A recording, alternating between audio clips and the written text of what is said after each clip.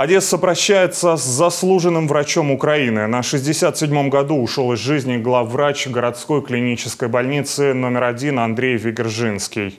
Он руководил учреждением более 20 лет. Последнее время тяжело болел. При этом самоотверженно работал, никогда не отказывал ни пациентам, ни журналистам в интервью. Комментировал все резонансные события в городе и оглашал состояние пострадавших в короткие сроки.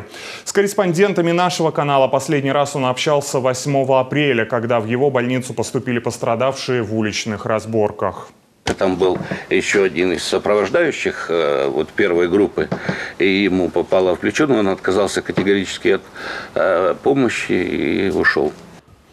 Гражданская панихида по заслуженному врачу Украины Андрею Вегержинскому состоится 16 октября в час дня на территории первой клинической больницы.